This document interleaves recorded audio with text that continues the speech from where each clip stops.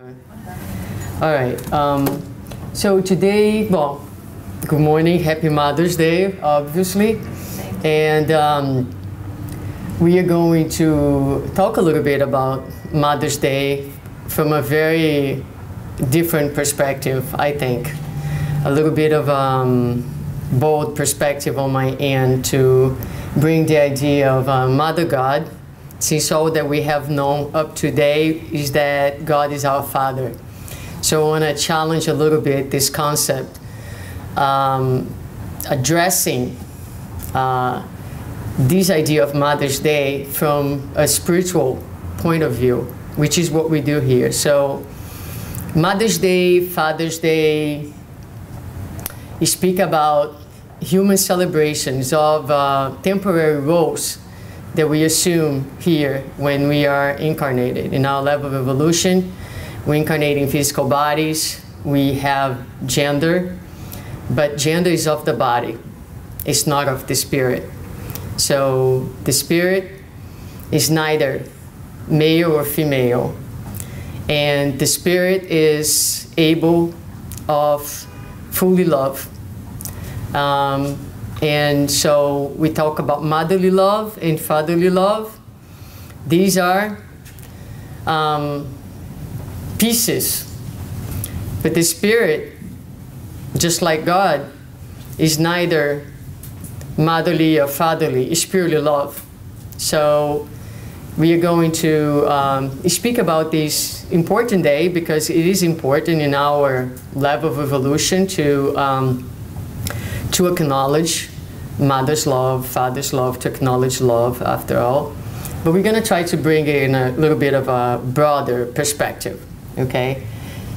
So this is a quote from Paul in his letter to Timothy, where he says, Anyone who does not provide for their relatives, and especially for their own household, has denied the faith and is worse than an unbeliever. Speaking about the importance of, um, you know, loving uh, within the family, right? Attending to our family, and we are going to uh, get to this. All right.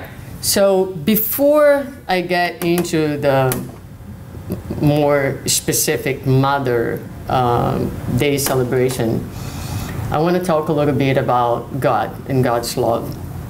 The picture that you see there is um, from a man. He's a, a Brazilian philosopher a scholar in theology. His name is Leonardo Boff, and his background is Catholic. And we're going to talk a little bit about uh, his ideas as well. But um, the first bullet there have God's uh, pedagogy. Pedagogy. Pedagogy. I don't know why it's so difficult for me to say this word. Um, whole versus part. When I am teaching a patient a new movement, and the movement is complex and it has several parts to it, we, one of the techniques that we use as a therapist is to break the whole into parts. So if I need to teach a patient to do a transfer, I may uh, break that transfer uh, from a wheelchair to, into parts. So standing, pivoting, sitting, parts. And the patient gets to practice the parts. Once the patient masters each part of the movement, then we put all the parts together so now the patient can have the full experience of the movement. And God works in the same way, right? So for our level of evolution, the way that we learn is through contrasts. We learn in pieces. We need to master little pieces until we can have the experience of the whole. So as I mentioned to you, think about this. Is God male, female? Is God love a motherly love? Is God love a fatherly love? No. None of that exists when we think of God. God is. Is. Is love in its all its expressions, all ways that it can manifest itself. We are in these temporary experiences where we are learning pieces so that we can master each piece, integrate each piece, and manifest love in its totality. So we come and we take a female body and what has been the role that females have had historically. Females have been in their homes for the longest time denied the possibility of intellectual evolution, going to school, learning, right? Um, certain uh, rights. Um, even today, we still live in a world where uh, there is a number of um, differences um, in payment, for example, right? So things like that. But that's not the point of our uh, talk today. The point of our talk is because of this uh, uh, history, because of the culture, because of how things evolve in our planet, women, the spirit in the experience of a female body has being granted the possibility to develop more of this spiritual connection, of the relating, of the emotions. Whereas the spirit who has experienced more lives as a man has experienced other types of, uh, of uh, possibilities because the spirit in the male condition has been out working, developing intellectually, right? So we have these pieces of uh, experience in our uh, stage of evolution, uh, so to speak. But the main idea, and we see with progress, right? So today, this is very different, right? Today we have women who are leaders of big companies, and we have men who are extremely maternal, because that's progress, and that's the way that's supposed to be. All of us spirits have the capability for maternal and for paternal love. And the goal of our uh, lives and our journey is the integration into one thing. Because just like God is, we also are. God is love, we also are love in all its uh, expressions. So, with that in mind, um, let me talk a little bit about uh, Boff. And he, he uh, has an article that he says that one day he had a difficult time sleeping, and then he starts hearing his voice. He doesn't know if his own mind or if he's being inspired. And so he starts to write about what the voice is telling him.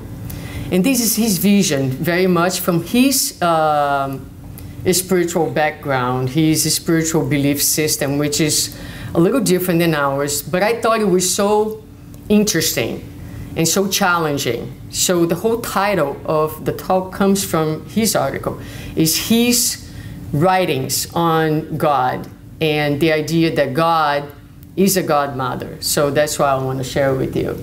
So he says that when um, Jesus came to be with us, the male uh, figure was made divine in Jesus, right? And when Jesus comes, this is not him, this is me now. Jesus comes, one of the things that we learn in the gospel according to Spiritism is that one of the main missions of Jesus was to um, lead us to a different understanding of what God is. So up to that point, our idea of God was that God was what? Kind of mean, uh, revengeful, right? Uh, very much mirroring our own humanity. So when Jesus comes, one of the greatest contributions that he left us was the idea that God is like a parent. But he had to use what was the culture of the time. Imagine if he would have said at that time that God was a mother and referred to God as a mother when women were, I mean, people didn't speak to women in the streets. So he had to make God a father. So, um, but it was an important contribution at the time because it shifted the understanding of the role of God. God being a parental figure, not someone who is there to punish, but someone who is there to educate, right, and to uplift their children. So he goes on, uh, Leonardo Boff, to say that the voice told him that um, in the passage, if he would go back to Luke to the passage of the Gospel of Luke when the Holy Spirit approaches Mary and tells Mary that she would be receiving a son, a child of God, uh, that, whose name would be Jesus, and that he would have a kingdom that would stay forever. She asked the Holy Spirit, How is that even possible? Right? And the Holy Spirit uh, this is the description that you find in this versicle of Luke says the Holy Spirit will come on you and the power of the Most High will overshadow you. So uh, interpretation is that that moment, the Holy Spirit or God, in that connection, that very deep, intimate connection with Mary, where Mary is given that divine mission, also makes women divine. So this is his thinking, right? So he's saying that man becomes divine in the figure of Jesus, and women becomes divine in this encounter with the Holy Spirit through the figure of Mary. So he says not only women becomes divine, but God's female portion, he talks about, he's the one who brings this idea that God has a female, not only a male energy, but a male portion to itself. So it says, through Mary, God shows that beyond being a father, it is also a mother with all the characteristics of the feminine love, kindness, gentleness, caring, compassionate, and mercifulness. So it's interesting and it's, um, it's challenging because we are moving towards God. That's the goal, right? To understand, to see God, meaning to be in line with God. And even for us as spiritists, I feel, for example, when we talk, uh, we hear about the law of action and reaction.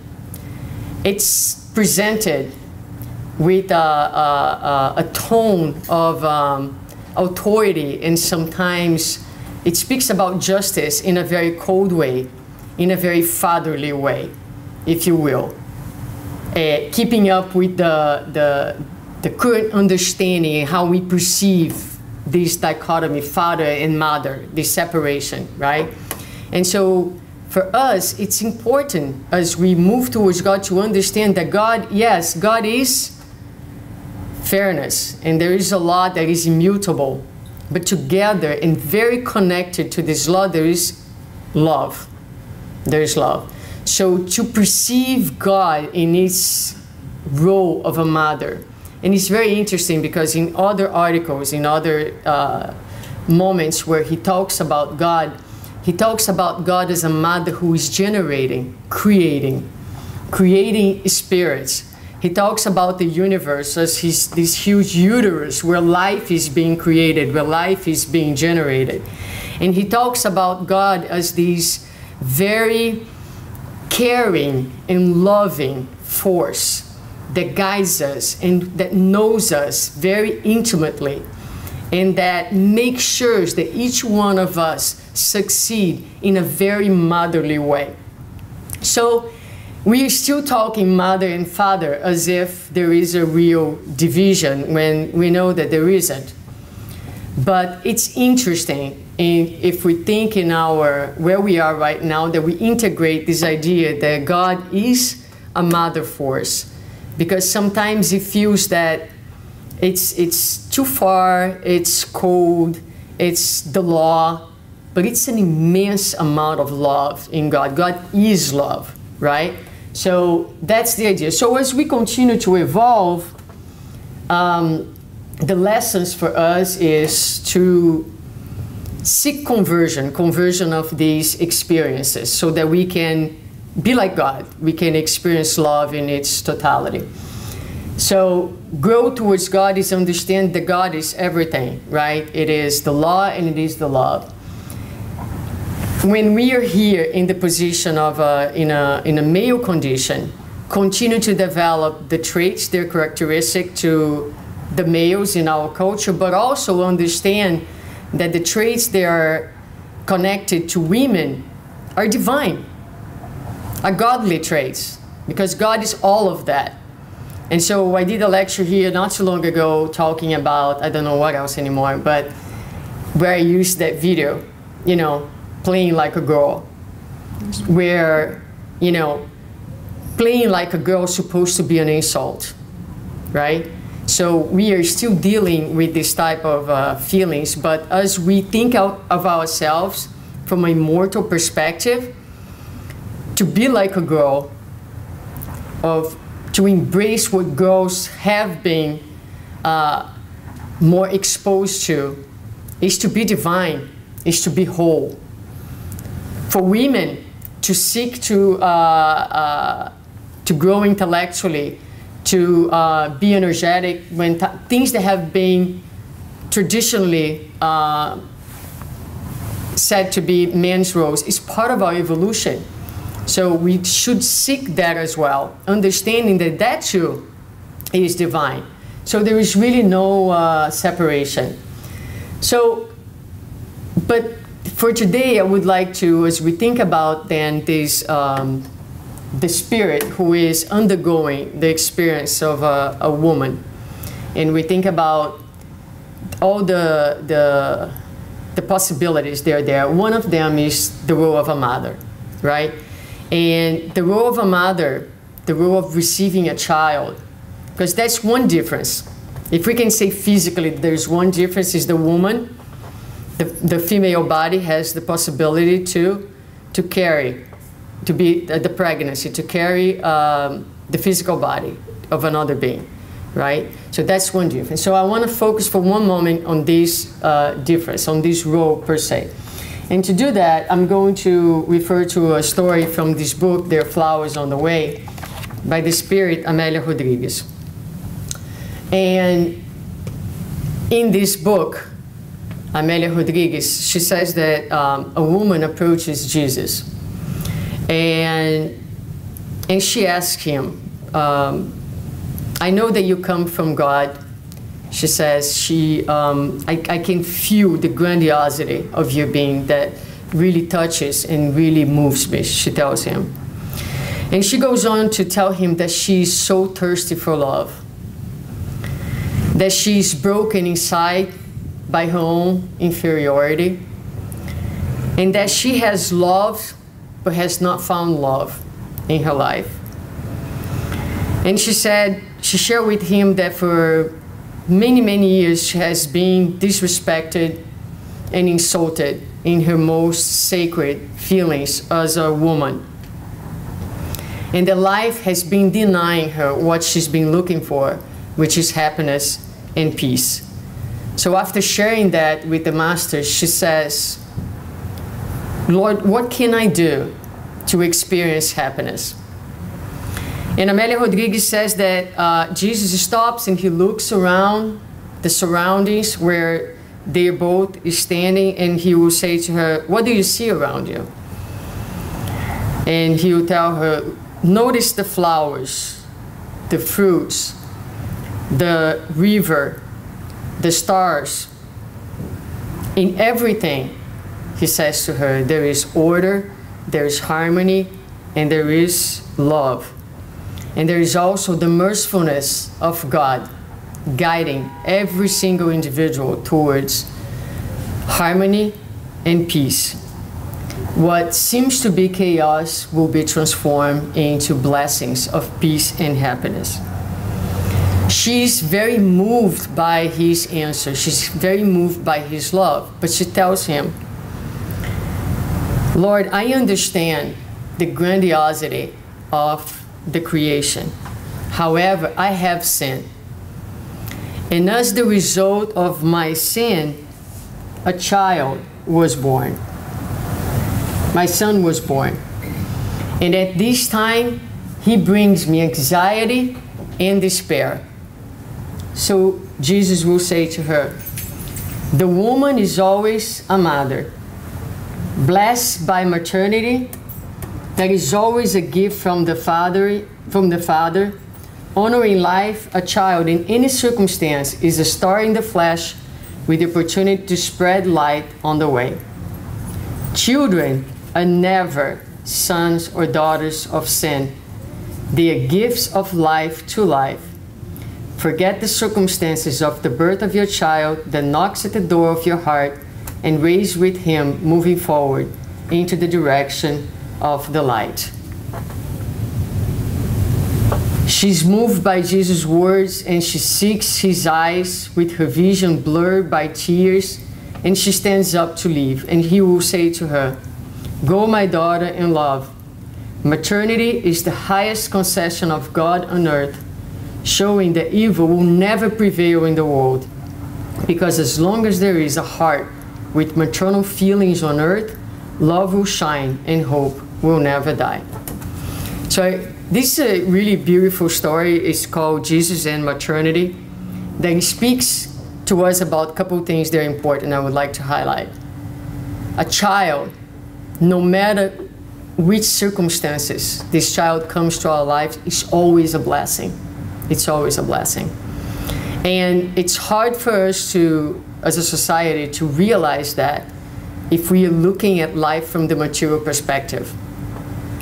But from the spiritual perspective, a child is always a blessing, and women have this role of being able to carry this life and to allow this life to happen, to come full term uh, through maternity.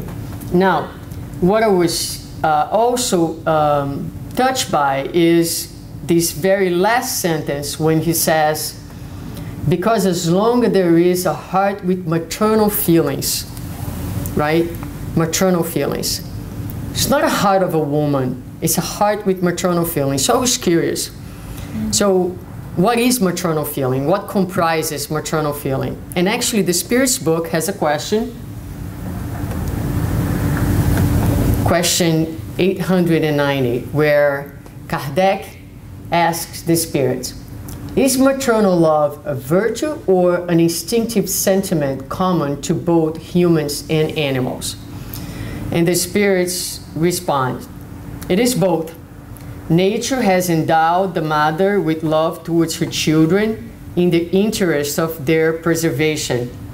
But in the animal, this love is limited to their material needs and ceases when such care is no longer needed.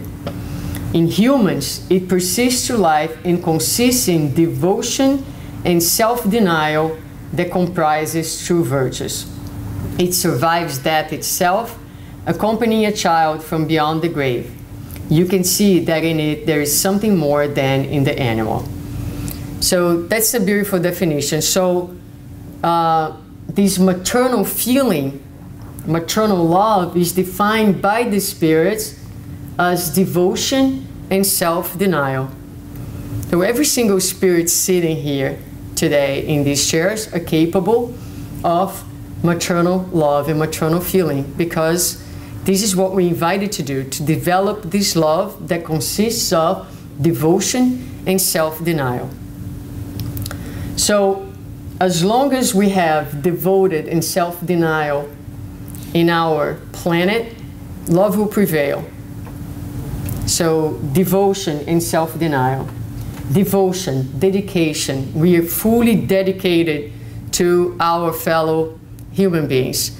And denial, that moment where you restrict uh, your activities or your desires to uh, uh, privilege someone else needs or desires, right? So it's the antithesis of um, what we call selfishness, right? So it's the ability to, so this is what we are uh, trying to develop. This is, um, we all love, call it whatever you want, paternal, maternal, fraternal, right? But the ultimate goal is to develop love in its uh, unconditional capacity, which the closest that we have of this type of love, we find where? In the family, right? In our families.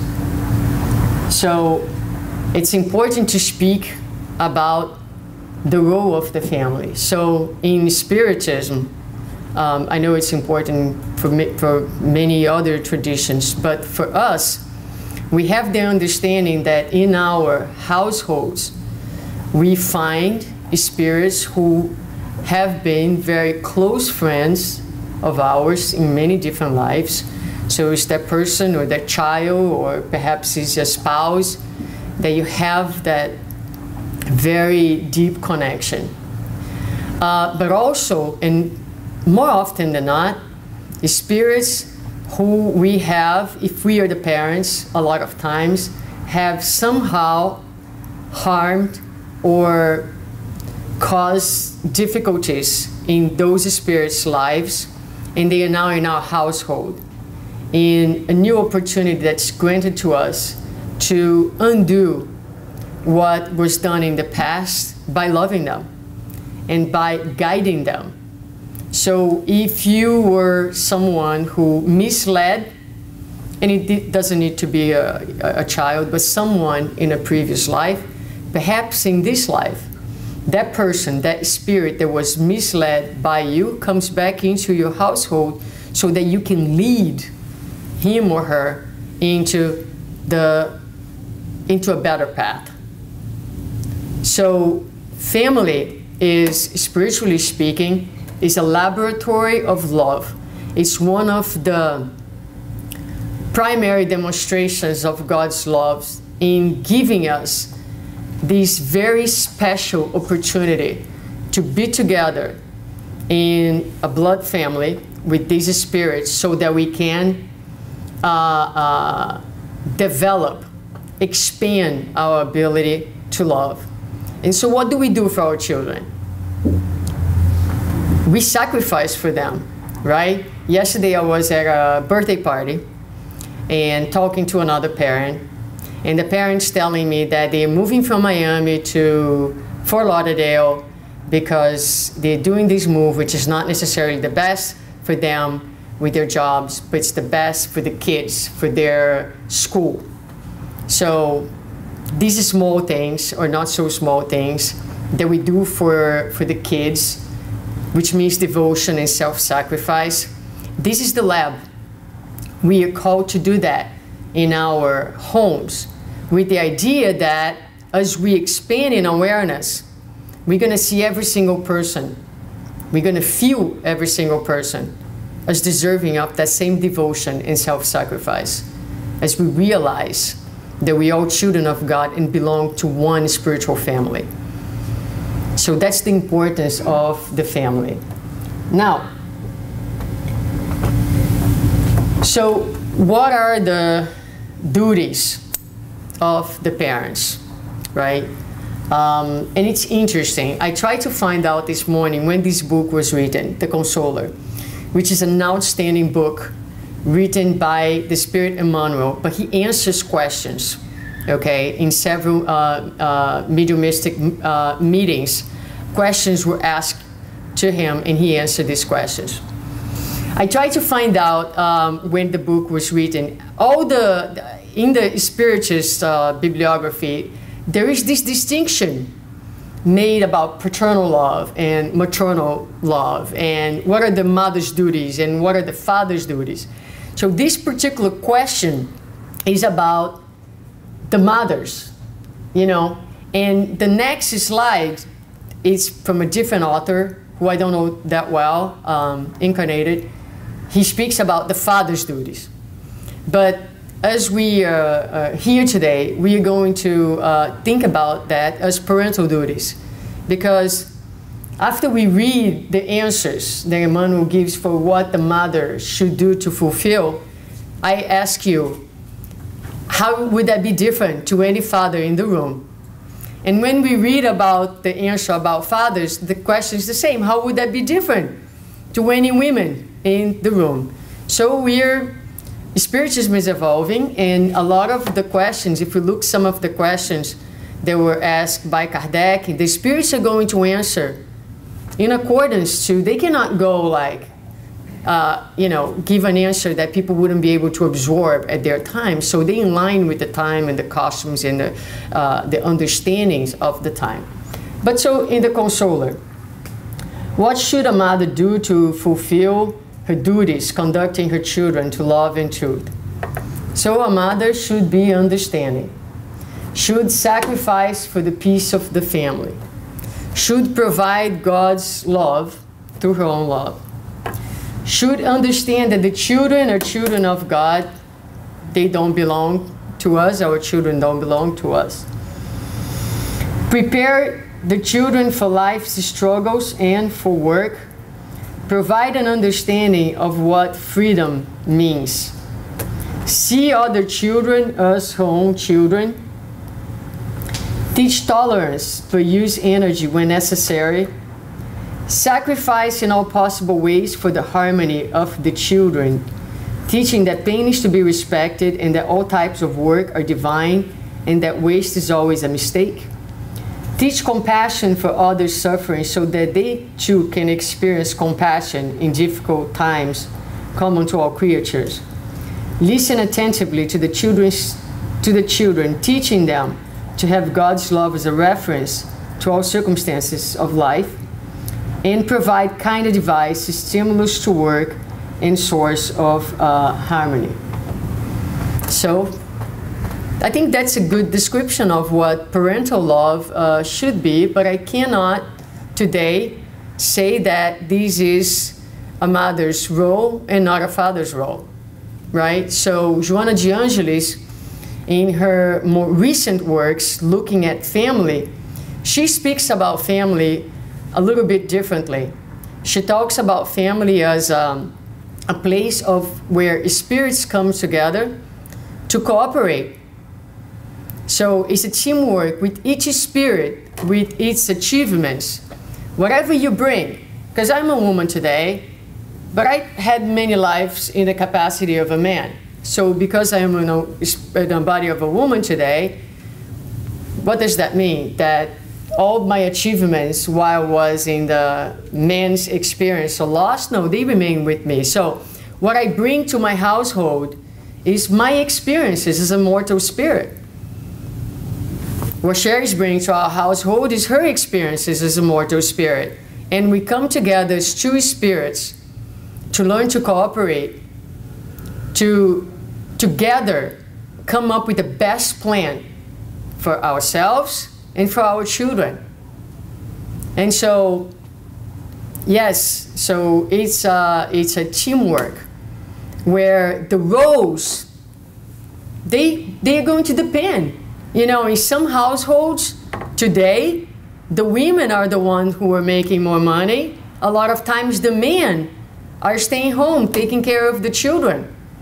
So society is changing, the roles are changing because we are immortal beings, capable of love, and the role of the parents is together as a team to provide these things to their uh, children.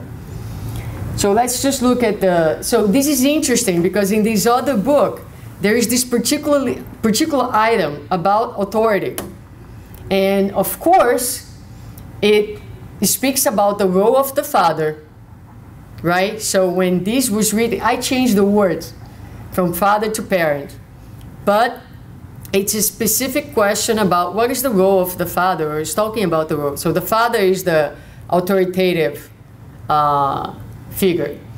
But regardless, I like this idea of authority, okay? Because also nowadays, we see families where the parents have absolute have lost all the authority. The children become the authority in the house in an inversion because the parents were given the role in the mission. It's a mission to receive those spirits and to guide them. So if you lose your authority, then you can't really deliver your mission. So you have to keep authority. But what constitutes authority? I think it's important for us to uh, review. So this author, his name is Rodolfo Calligaris, I think. He says that legitimate authority is a process in which the parent, and in the book it says in which the father, helps the child to grow and to mature so that he, she can achieve autonomy with understanding that freedom has a price, responsibility. It is the way in which the parent conducts the child to self-realization, developing his her potentials without asking from the child more than what he or she can give, respecting the child's limitations. So that's the first part. And then he goes on to say, it is above all the moral strength that the parent needs to have over the child the moral strength is based in the admiration that is awakened in the child when the parents become a dignifying model to be imitated. The authority can never be imposed by violence. So I think it's a really nice definition of authority that comes from role modeling. that comes is not from what you're saying, but who you are, who you have become as a parent, which speaks to what? It speaks to the importance of bringing our children to the, their um, Sunday classes. My children never want to come, and every Sunday they ask us, why do we have to go to the center, right? But we talk to them about it and about the importance of it. One day they will appreciate it, you know, either in this life or in another life, maybe not even in this life. That's okay, right? Um, but we are modeling. And this is the best that we can do. And the true authority comes from being able to model, but also being able to respect your children. Your child is not you. You cannot expect, it's not, don't make your child a reflection of yourself. So this shows respect for the other. And in that, there is also uh, this sense of authority. So I thought it was a really good uh, uh, definition that, again, speaks to the importance for us as parents. And if you're not a parent, you if you deal with children, you have uh, nieces and nephews, you can also be a model. We need to invest in our own moral education we need to be the best that we can do for our children. The best that we can do is to invest in our own enlightenment. So you cannot ask them to behave in certain ways if that behavior is not something that's part of who you are. So if you want them to be something, you need to be that something first. You need to model what you want them to be. And so the importance of working on ourselves for the sake of our children. And I'm going to finish them with uh, this uh, little quote that came to me this morning uh, on Facebook. And, um, and then a little video that I think goes back to the idea of uh, what motherly love is. So here's the quote from Mother Teresa about parents. Teach them to fly, but not fly your flight. Teach them to dream, but not dream your dreams. Teach them to live, but not live your life. Teach them to sing, but not sing your song. Teach them to think, but not like you think. But you know that every time they fly, dream, live, sing, and think, seed will be in the way they thought and learned. So from Mother Teresa. So I think that's really um, uh, it's a beautiful uh, quote about what our role as parents really uh, is. All right, so let me put this video, and I'm going to go back to the definition of maternal love, consists in devotion and self-denial that comprises true virtues, according to Kardec. So maybe many of you have seen this. It's a very uh, moving uh, little uh, movie that speaks about what I think is uh, constitutes maternal love. So let's see.